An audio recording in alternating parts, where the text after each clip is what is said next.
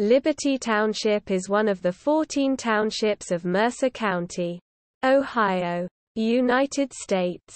The 2000 census found 917 people in the township.